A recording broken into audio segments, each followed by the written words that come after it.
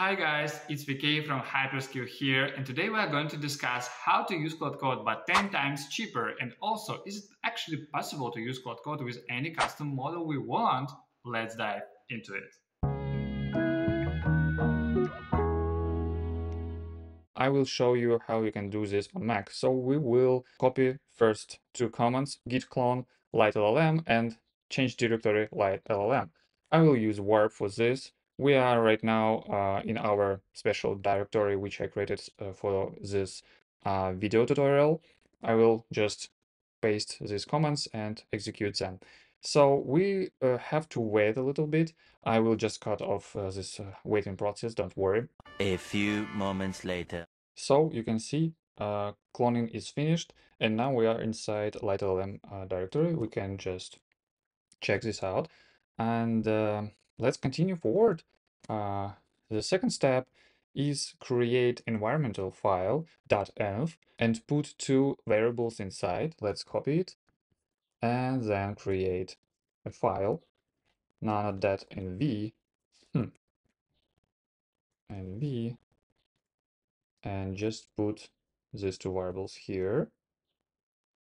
Later, we'll have to change this uh, uh, OpenRouter API key uh, just to make it work.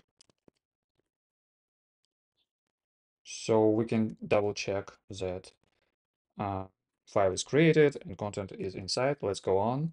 So the third step is uh, to create config YAML file.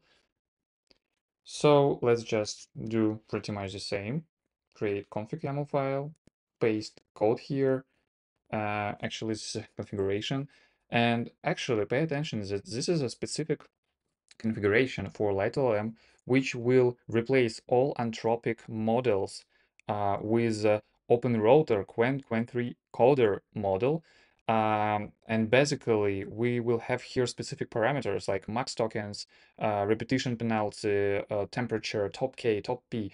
All these uh, are specific for this use case, so you can change it if you want, you can keep it. Let's go on uh, and uh, uh, complete the fourth step. Fourth step is actually create docker compose YAML file. we can just copy it and paste because it's faster than edit existing one. So yeah, we just will make this docker compose you can see that it's already here and uh, we can just check. Yeah we can delete everything. We just uh, remove all strings here and paste our config from the instruction save it. Uh, let's move to the next step fifth step and um, yeah we can actually call docker uh, and then change environmental variables. So right now I will go and fix this OpenRouter API key a few moments later. So I replaced uh, a token and now we are ready to go further. Let's run our Docker. At first we have to run Docker services on our Mac and just run this command. Finally, you can see that our Docker image was downloaded and our Docker container was started. We can even check this. Yes, LiteLLM, LiteLLM database, so we can even go inside any container and inspect it and uh, just look at logs. So yeah, you can see health check is complete. So yeah, um, let's go to our instructions. And now we have to export these environmental variables. I think I think we can just paste it in, uh, directly to the warp and what else? Yeah, now we are ready to call our Claude. Let's move outside this folder.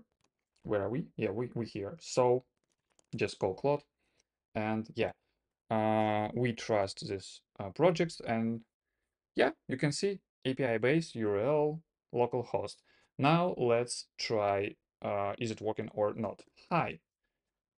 Yeah, we can see that it is working and we actually can go to Docker LiteLLM and just check logs. Yeah, you can see messages posting. So, hello, how can I help you today? That's it. Guys, Thank you for watching. I hope this video was useful for you and remember, always stay hyper skilled.